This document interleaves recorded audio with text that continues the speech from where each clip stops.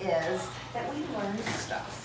We learn stuff in such a fun way you don't even know you're learning, but we learn stuff about the background of the story that we're going to be performing this year. So this year, we're performing the play Aladdin, but maybe you didn't know that the story of Aladdin came from a book called A Thousand and One Arabian Nights, and we're going to be learning some things about this book, which is one of the treasures of classical literature.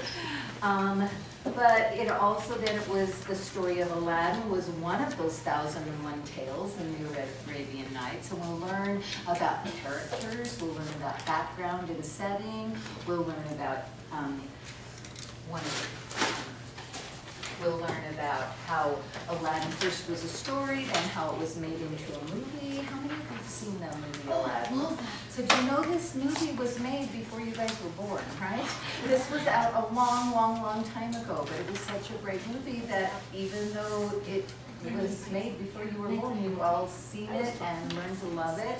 And then we're also going to be um, learning about a new, brand new movie came out this summer. I'm gonna lay that down.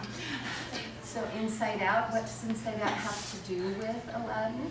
Actually, there is a connection that I'm gonna be teaching you about. This is a really fun thing, but we're gonna have a lot, um, Inside Out characters running all around in our play and showing people how people are feeling, how characters are feeling. So lots and lots of fun things go into putting on a play. I wanted to share with you guys something that I think is really, really cool.